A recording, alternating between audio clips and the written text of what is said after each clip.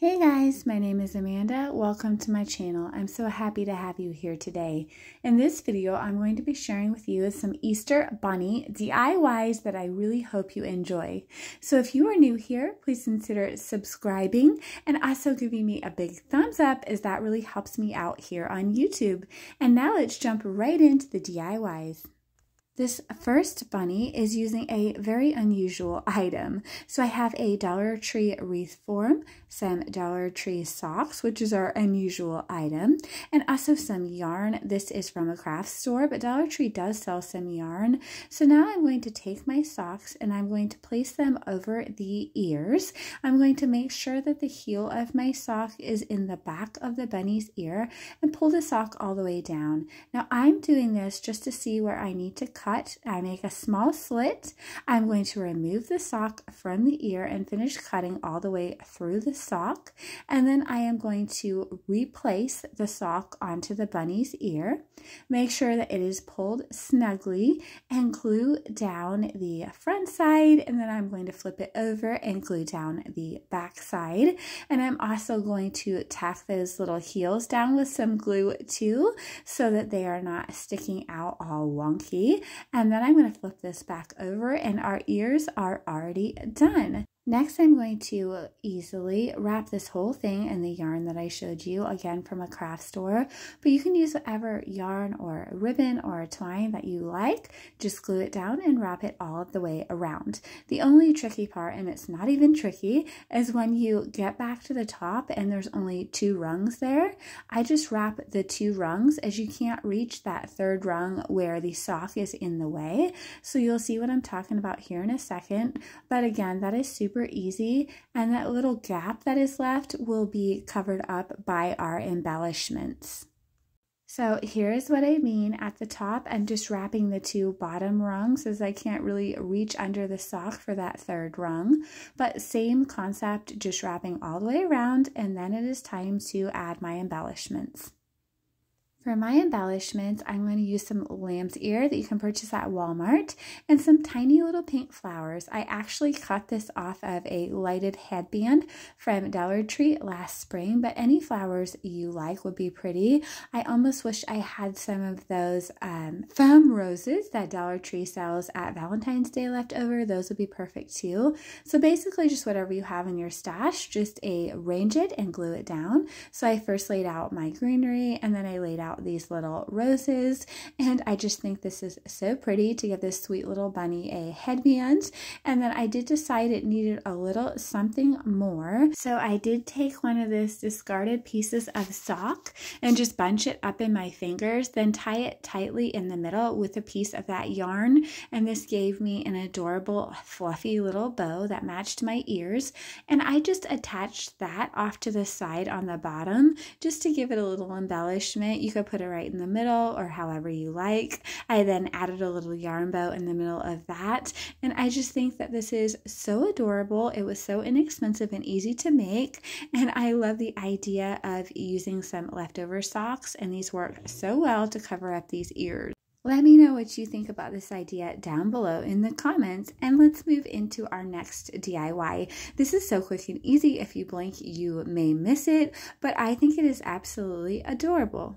So I have this little basket from Dollar Tree. They have several different types and color combinations. I have these little bunnies from Dollar Tree as well. And I'm just going to snip that little hanger that is at the top of my bunny off. Be careful, it may fly when you use your scissors.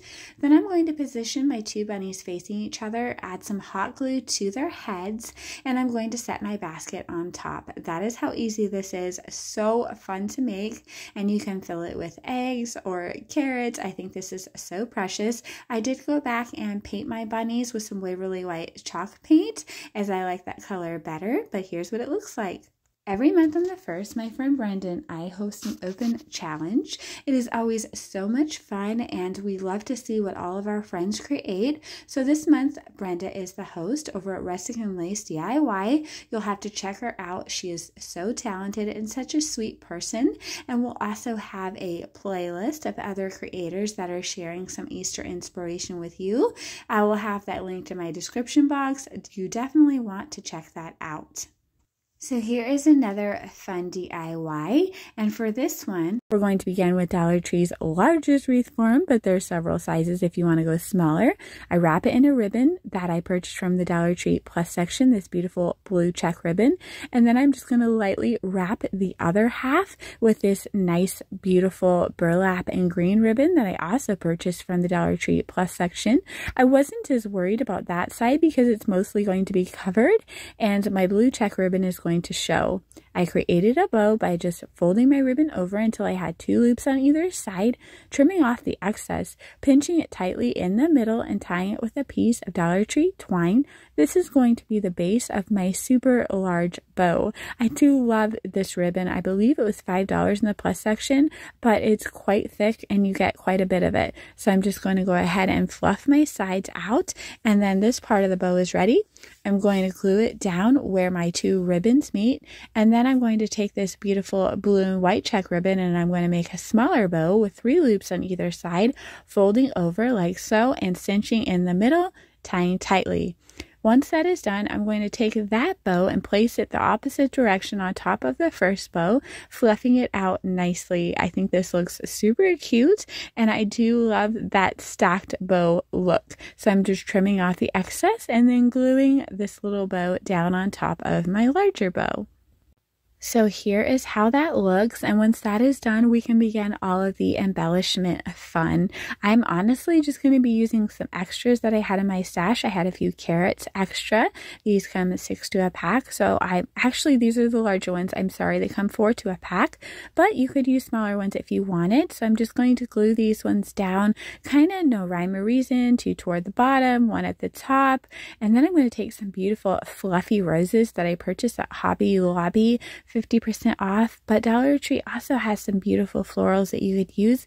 I just had these on hand and I'm just going to glue them down around my carrots. I'm going to kind of glue a smaller rose right next to a bigger rose. I think that is cute. I had an extra bunny butt pick, so I snapped off the pick part. This is from Dollar Tree. They come with pink and blue feet. These feet were actually blue, but I painted them pink.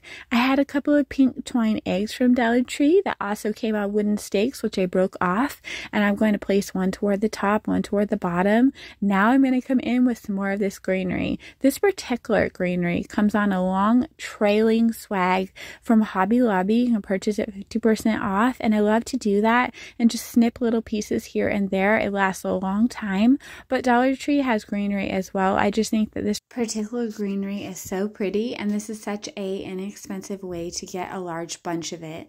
So here is my wreath. Here's what it looks like, and remember, if this is too large for you, you could do it on a smaller scale as well. I hope that you like this one. Okay, let's jump into our next Dollar Tree DIY gorgeous bunny using Dollar Tree items. I have this large Dollar Tree bunny from the plus section, this quick cover from the $1.25 section. I'm going to remove the bunny's tail and also that beaded hanger, and I am going to remove the lettering from the front of my bunny with my Dollar Tree scraper. You could heat up the lettering with your heat gun and then just scrape it off. I also removed the bunny's bow tie.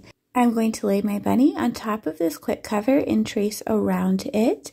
Once that is done, I will cut it out and then I can apply it to the front of my bunny. I am going to remove the adhesive part of this quick cover from the backing and place it down on top of my bunny and smooth it out. I will be cutting a slit right down the neck so that I can place this quick cover in two pieces. This allows me to smooth it out better and also have more control over placement. That area will be covered as I'm going to wrap a strip of ribbon around that area to create kind of a collar that I'm going to place a bow on. I take some ribbon and go around so that I have two loops on either side. I'll also cut a spare piece that I can use for tails and I'm going to take a piece of burlap and fold that over so I can make a double stack bow. I tie everything tightly in the middle with a piece of twine and remove the excess of my twine.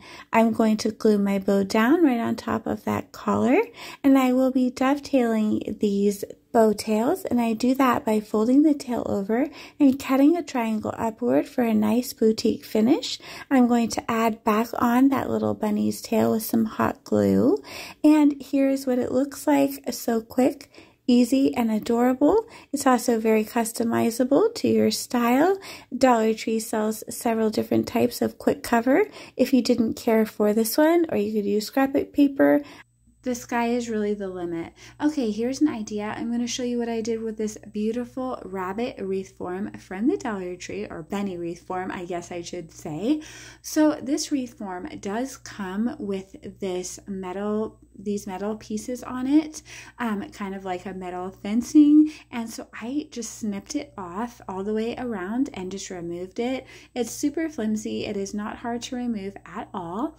And then I am just going to add some beautiful flowers. Now I purchased these a few years ago at Michael's on clearance, but Dollar Tree does have some really pretty flowers. So does Walmart. So does Hobby Lobby. You can purchase 50% off. But I'm just alternating my flowers and adding some smaller ones toward the bottom um, so that I have a nice little swooping downward effect. And then I'm adding these little pearl-like flowers that I also found at Michael's to either side. I guess they're not really flowers, pearl-like strands, I should say. But Dollar Tree does sell pearls too. And here's some ribbon from Dollar Tree. I'm just going to make some cute little bows for my bunny's ears. I'm just going to fold the ribbon over until I have three loops on either side. Then I will zip tie the middle. I'm actually going to add a little strip for tails too before I zip tie, but that's totally optional. You don't have to have tails if you do not want them. Once that is complete, I'm going to take another strand of the ribbon and go around the middle of my bow, just gluing it down, wrapping it around, gluing it down again, and trimming off the excess so that ugly little zip tie is covered up. And then my adorable little bow can be attached to the top of my bunny's ear. And of course, course, I'm going to do this on both of my bunny's ears. So this is so cute, so customizable, and a great idea if you don't like like that metal look on the inside. Although here in a minute, I am going to give you another idea on how you can leave that inside of your wreath form and still make it look really pretty. Personally, I am just a sucker for these soft pinks and creams, and I think that this is just so beautiful and delicate. Okay, here's an idea. This adorable bunny is using a plus item as well, but it's still very inexpensive for the size. This large wreath with some chicken wire mesh in the middle was only $5, and I found this pair of towels at the Dollar Tree for $1.25. I thought they were so cute, and one of the dish towels is plain with no design on it. So that one I am going to trace out around this bunny, and I'm going to glue it down to the back of the bunny so you can see it through the mesh. There's many different ways that you could use the mesh on this bunny. You could fill it with flowers. You could remove it if you don't like it. I just thought that this dishcloth looks so pretty through the mesh. So here's what this looks like after I glued down my dish towel. Next, I'm going to create a bow with some burlap I had in my stash, just folding it over and tying it tightly in the middle with some jute twine. I used some pretty ribbon that I purchased at Walmart to make a bow to go on top like you see here and dovetail the ends. I glued my smaller bow on top of my larger bow and then I also purchased these flowers at Walmart very inexpensively and I just popped them off of that stem and I'm going to be gluing some on either side of the bow kind of catty cornered and here is what that looks like. So again, the sky is the limit with this beautiful wreath form and all of the things that you can do with it. Such a great deal for only $5. So I really hope that you enjoy that. DIY and let's go ahead and jump into our next one. So I'm going to take another bunny wreath form from Dollar Tree, some florals, which again I purchased at Michael's a couple years ago, but there are lots of places to get good florals. And this craft cord that I purchased at Hobby Lobby near the jute. Also some scrapbook paper that I purchased at Hobby Lobby, but pretty much any craft store sells scrapbook paper. Even Dollar Tree is starting to sell some scrapbook paper. So I'm going to take this blue cord and I'm going to glue it down and wrap it all the way around my wreath form. Now you could use twine, you could use yarn, you could use ribbon, use whatever you like. I just think that this is really pretty and it's softer than twine, so I really like working with it. Again, you can find it at Hobby Lobby. So I'm just going to go ahead and wrap all the way around. Then I add hot glue to the back and I set it on top of my scrapbook paper. I am then going to trim around so that my scrapbook paper is cut out. Next, I will trace around my bunny's ears and I will cut that out of the scrapbook paper. I will glue that like so, so my pretty design is facing forward. Then flipping that over, this is what you have so far. Next, of course, I'm going to trim out those ears with some more of this cord and I'm going to go around each ear twice just to cover up any extra paper or any uh, glue mess so I kind of go around on the inside of the wire and also the outside of the wire like you can see me doing here just be careful of your fingers and use some finger protectors if you have them so here's what this looks like and here is going around the second time just to make sure everything is nice and cleaned up we also want to make sure that our paper is attached nicely nicely so it doesn't come off. And of course, this will be an indoor wreath, but I think it is so pretty for a wall or above a vignette. So here's what this looks like. Then I'm just going to take a little strip and put it across the bottom of the ear where it meets the head just to clean up any mess that may be there. Of course, we repeat this on the other side of the ear. And now I'm just going to create my bow here by taking some ribbon that you can find at Hobby Lobby. Hobby Lobby usually has their ribbon 40 to 50% off and looping it over twice, pinching it in the middle, and here is what that looks like. You can tie it with a zip tie or some twine or yarn or whatever you like, and then glue it down and fluff it out. So here's what we have so far. Now I'm taking my little florals and I did misspeak earlier. I said that I got these florals at Michael's, and I did not. I just realized these are actually from Hobby Lobby and the wedding section, although I'm sure Michael's has similar. In Hobby Lobby's wedding section, sometimes those florals are on sale when the regular florals are not, so that is something to keep in mind. I'm just laying my florals how I like them, and I tie them on so I don't have to use as much hot glue, and this is how I'm able to reuse my florals florals over and over. Next, I decided that my bow needed some tails, so I just glued on a couple of extra strips of ribbon, and of course I dovetailed that, which means I folded my ribbon over and cut a triangle upward, then just use a tiny dab of hot glue to tack my tails down where I wanted them, and this is what we have so far. Next, I did decide to make some cute little jute twine bows and glue them to the top of my ears. And I also added one to the middle of that larger bow. And here is my adorable bunny. I think that she is so pretty and so sweet. And I really hope that you like her too. Remember, this is very customizable to your colors, your floral choices, and your scrapbook pattern that you like. Let me know if you're going to recreate this one and what your favorite DIY was today. Thank you so much for stopping by. I really appreciate you. Again, if you're new to my channel, please join us by subscribing and also giving me a big thumbs up. It really helps me out here on YouTube. I appreciate each and every one of you. Take care, friends. I will see you soon.